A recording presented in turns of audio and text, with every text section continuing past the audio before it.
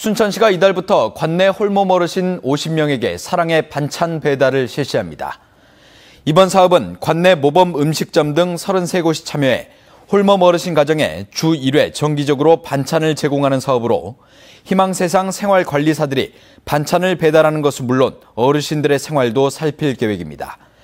순천시는 지난달 반찬 배달 사업을 위해 업무 협약식을 가졌으며 내년부터는 참여 음식점을 추가 모집해 사업을 확대할 방침입니다.